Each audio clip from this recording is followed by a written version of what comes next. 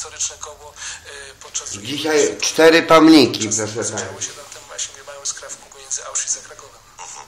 Rok 2015, prawda, został ogłoszony przez papieża Franciszka rokiem miłosierdzia Tak, Bożego. rok To jest Miłosierdzia Bożego, rok misjonarzy miłosierdzia. Rzeczywiście ci misjonarze miłosierdzia do tej pory pozostali. Mam to było wiele- nawiązanie do myśli Jana Pawła? Też, też, y, no powiedzmy sobie szczerze, jeżeli cokolwiek mówimy w Kościele o miłosierdziu Bożym, to nie sposób nie nawiązać do Jana Pawła II i nie sposób nie nawiązać do świętej siostry Faustyny Kowalskiej. Chociaż y, na przykład we Francji m, też promuje się to, co, to, co mówiła, y, y, to, to, co mówili wielcy francuscy święci o, o, o- Bożym miłosierdziu. Nie były to objawienia, ale było to, to też pewna myśl głęboka i wynik takiej przeżytej dobrze głębokiej duchowości. Dlatego, no mówię, ale kult Bożego Miłosierdzia tak ściśle związany z Janem Pawłem II i świętą siostrą Faustyną Kowalską, y, no, że cokolwiek mówiąc o Bożym Miłosierdziu, m, odnosząc się do Bożego Miłosierdzia, no nie można, no, nie- byłoby na pewno pełne w żaden sposób mówienie o Bożym Miłosierdziu bez, ym, bez odwołania się właśnie szczególnie do myślenia Pawła II i świętej siostry Faustyny Kowalskiej. Z księdzem Grzegorzem Krupem rozmawiał Jakub Kukla. Ogłoszenie społeczne.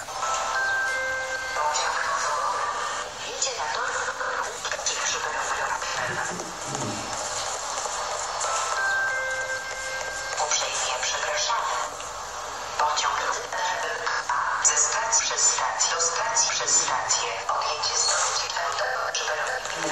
Uprzejmie przepraszamy. Odjazd pociągu. Uprzejmie przepraszamy. Odjazd odjazd. Masz prawo do informacji. Dowiedz się więcej na www.sieciobywatelska.pl Ogłoszenie społeczne. Radia Koncita. Radia 24. Jest 6.30. Czas na informacje dnia. Katarzyna Oklińska. Zapraszam. Kierowcą furgonetki, która wjechała w tłum w Münster w północno-zachodnich Niemczech był 48-letni obywatel Niemiec. Niemiec. Niemcy Niemcom taki los zgotowali. Teraz tak jest. Funkcjonariusze mężczyzna wjechał samochodem w grupę ludzi, którzy wypoczywali w ogródku kawiarni. Zginęły dwie osoby, kilkadziesiąt zostało rannych, sześć osób jest w stanie ciężkim. Kierowca ataku zastrzelił się.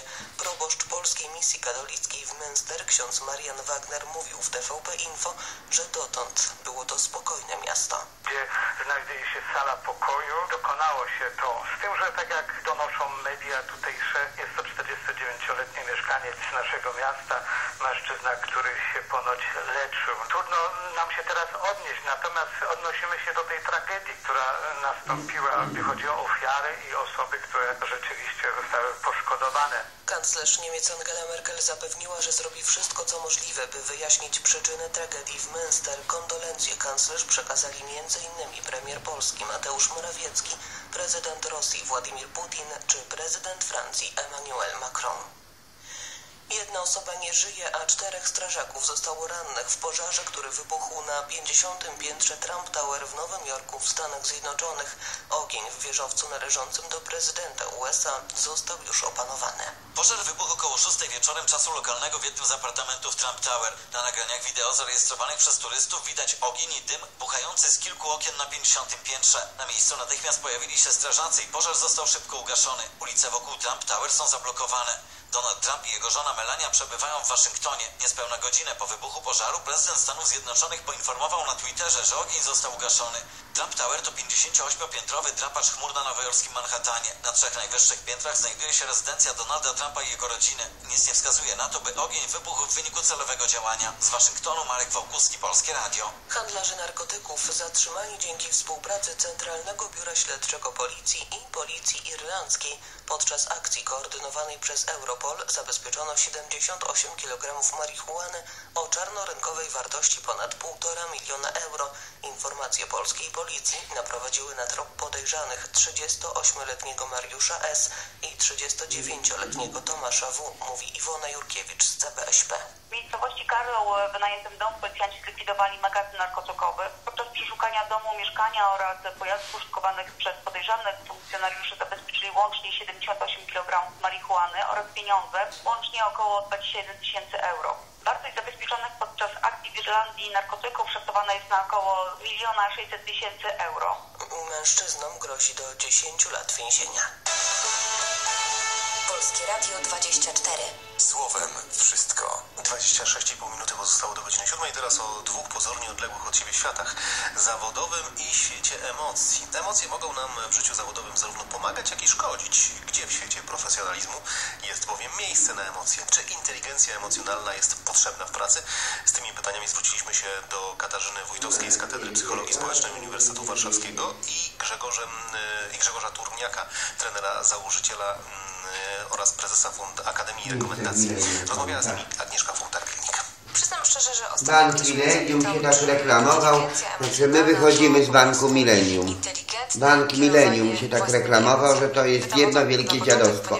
Zamykają oddziały, bo nie mają pieniędzy na opłacenie metrażu. takich e, zawodowych naszych e, codziennych e, kwestii jest bardzo ważny. Znaczy, jeżeli myślimy sobie w ogóle o inteligencji emocjonalnej, to ona się składa w naszym świecie naukowym z takich czterech komponentów, czterech e, części, jakim jest to, że my w ogóle postrzegamy, że ktoś ma jakąś emocję wypisaną na twarzy i my też rozumiemy, co to jest, w sensie, że umiemy odróżnić, że jest to radość, smutek albo złość.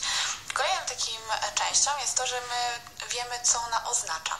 Tak? Czyli jeżeli ktoś się cieszy, to znaczy, że jakiś cel na przykład został zrealizowany, tak? Jakaś potrzeba została zrealizowana i z tego powodu właśnie się cieszę. Czyli to jest po prostu rozumienie emocji, tak? To są tylko dwa pierwsze etapy, a jeszcze do tego właśnie dochodzi mm, emocjonalne wspomaganie myślenia. Czyli to, co trochę już e, Pani mówiła, że my możemy w jakiś sposób pomagać sobie emocjami, tym, że jakieś odczuwamy, ale też czasami możemy sobie przeszkodzić, bo trzeba wiedzieć, jakiego myślenia na przykład... Myślenia, myślenia. No to jako stara dziewucha, no to nie może mówić myślenia, tylko myślenia. No to niech, niech mówi normalnie, bo ona z- nie to, że śledzikuje, ale ona dziecinnym językiem jeszcze mówi. Myślenia. To chcieli być mądrymi, stali się głupi, a potrzebują dziecięcego mleczka, dziecinnych tych rzeczy takich. Tak? Mleczka dla dzieci, jak to apostoł Paweł powiedział o tych saduceuszach, tych faryzeuszach, chcieli być mądrymi, a stali się głupi, no bo jak dziecko mądrzejsze, a to głupsze jest, no to o czym my tu będziemy mówić? Chwałę Bożą zamienili na obrazy przedstawiające człowieka, zwierzę, czyli bałwochwalstwo. Wszystko pozamieniali. Przecież to się ciągnie od bardzo, wielu lat. Y, temat faryzeuszy, saduceuszy od bardzo wielu lat. Prawda? Ciągnie się. Że to, że oni zabili Jezusa Chrystusa, to więc tacy, którzy by jeszcze raz go zabili, to są. To oni są teraz. Faryzeusze, saduceusze, kto to jest? A to jesteś ślepa, głupa, głupia, ciemna? Potrzebujemy, my to nazywamy w psychologii hedonizmu, czyli przyjemności i sporo energii tej właśnie takiej pozytywnej. I wtedy rzeczywiście my zaczynamy wędrować sobie i trochę innymi ścieżkami e, myślenia i wymyślamy rzeczywiście coś, czego na przykład nie ma na rynku. No i tego oczekuje często od nas klient, tak, żeby się wyróżnić. Boże, E, Ale dlatego, że tak sobie myślę, że mamy spełnione jakieś e, potrzeby, takie podstawowe, tak? I wtedy jeżeli właśnie, no bo przyjemność to już jest taka potrzeba no, ponadpodstawowa, prawda? Więc jeżeli mamy ją spełnioną, to znaczy, że mamy ogólny dobrostan, tak? Dobrze myślę? W dobrym kierunku to idzie? Rozumiem, że Pani się teraz mnie zapyta, jak sobie wzbudzić tą radość. No to nie, raczej z czego się to bierze? Dlaczego jest tak, że właśnie na te najlepsze pomysły wpadamy wtedy, kiedy jesteśmy, no jest nam przyjemnie w jakiś sposób? Mm, Czujemy się bezpiecznie. Tak, to przede wszystkim. Nie czujemy się właśnie oceniani, więc właśnie nie musimy bronić swoich granic, więc e, wtedy nie musimy się skupiać na zagrożeniach, tylko na szansach, okazjach, tak? E, I z tego powodu mm, przy tym dużym bezpieczeństwie, mm, czyli właśnie dużej dozie hedonizmu, właśnie ludzie są w stanie naprawdę zrobić niesamowite rzeczy. Krótko mówiąc, zanim e, zasiądziemy do tworzenia jakiegoś ważnego dla nas projektu, powinniśmy zjeść szarlotkę i wypić dobrą kawę, tak? A, no to, e, czyli takie wspomaganie swoich emocji jedzeniem. Em, Wtedy wzbudzimy rzeczywiście, pobudzimy swój ośrodek nagrody, bo wydzieli nam się dopamina. Będzie nam bardzo przyjemnie. Jeżeli zjemy jeszcze e, dosyć dużo kakao, to właśnie wydzieli nam się z kolei serotonina. Więc e, oczywiście my możemy tak wzbudzić, ale tak naprawdę my to zrobimy na chwilę, a proces kreatywny trwa dłużej. E, nie wiem, e, czy pani się mierzy z pracą kreatywną, ale ja w swoim... No tak, rozmawiając teraz z panią. No właśnie, no i właśnie wtedy mm, fajnie jest, jak właśnie e, czujemy się dobrze ze sobą, jak czujemy się bezpieczni i nie właśnie nie myślimy sobie, ja często sobie powtarzam, jak pracuję kreatywnie, że to tylko ja jestem największym swoim wrogiem. Czyli, że właśnie wymyślam coś, potem mówię, nie, nie, to beznadziejne, tak?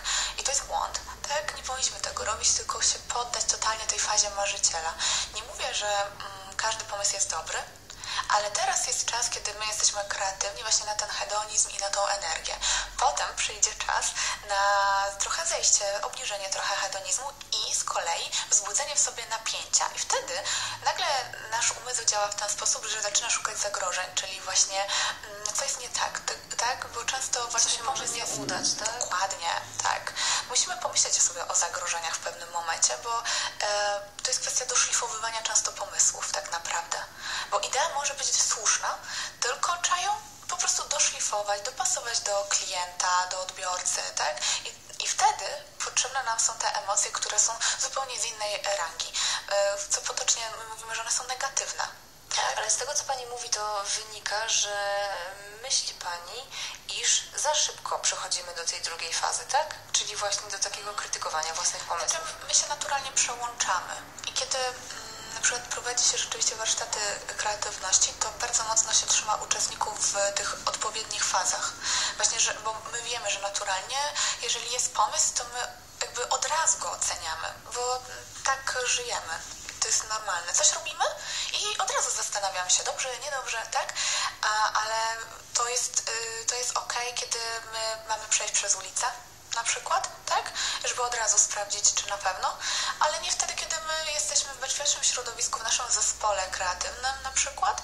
E, zastanawiamy się rzeczywiście, jak teraz e, problem, który się na przykład e, stworzył, tak? Bo my niczegoś nie przewidzieliśmy, jak teraz rozwiązać. Bardzo niedobrze jest wy, wy, właśnie to napięcie wytwarzać, chyba, że nie mamy czasu. No i wtedy dobry menadżer tak naprawdę powinien pilnować, żebyśmy my się wspięli rzeczywiście na wyżyny naszej efektywności, czyli żeby podkręcić to napięcie, e, ale do tego momentu, w którym jest e, tak zwany eustres, tak? Czyli kiedy jest ten dobre napięcie. Eustres to dobre napięcie. Tak. A dystres to jest wtedy, kiedy już my czujemy, tak, że zadanie nas przerasta i niektórzy reagują tak, że stoją jak taki słup soli dosłownie w rycie, nic nie mówią, tak? To widać, że bardzo dużo strachu jest w nich. Niektórzy zaczynają się być w takim chaosie i telepać. Może tak, może tak, tak? Wyrzucać z siebie bardzo dużo pomysłów, ale żadnego nie dokańczać na przykład. Trzecia osoba się wycofa zupełnie. No, tak, różni ludzie reagują, kiedy właśnie przechodzą, jak ja to zawsze mówię, na tą ciemną stronę mocy. Tak. tak? Ale dobry menadżer powinien wyczuć, e, w sensie i też ludzie są różni, mm, u którego można do tego stopnia podkręcić rzeczywiście trochę presję, tak? Stworzyć i wtedy ludzie są efektywni. Dziewczynkę musimy starą przełączyć.